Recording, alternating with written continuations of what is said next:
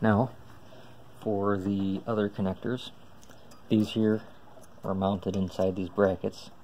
Just depress those connectors, push it forward and pull it right out.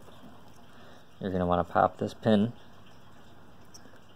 push this down a little bit, which you may have to remove this zip tie. That's right there.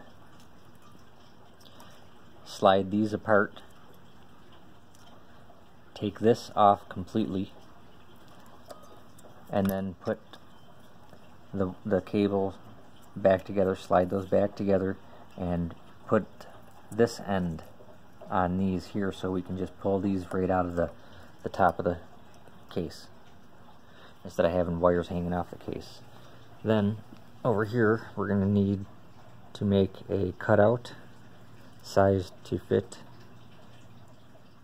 this connector which you just pulled off of the off, off of the base.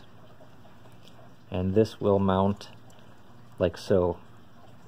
So this will you'll have to push this in from the bottom. And it'll be about right here.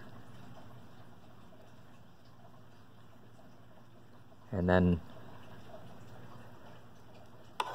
these here will push into that and connect to the motors.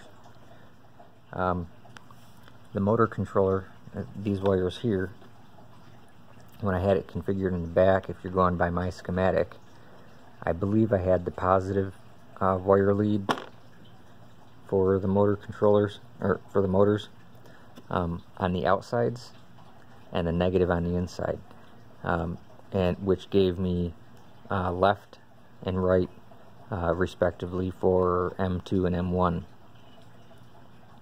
I may have to reverse those in order to get the forward motion so I don't have to cross the wires over because I'm also going to have uh, signal wires coming over here and the signals that are going into the motors from the motor controller may interfere with that. So um, if you do have crossed wires in order to get everything to move right without changing or reconfiguring the software for the motor controller, um, you're going to want to use some shielded wires or shielding over top of those just so you don't get any stray signals.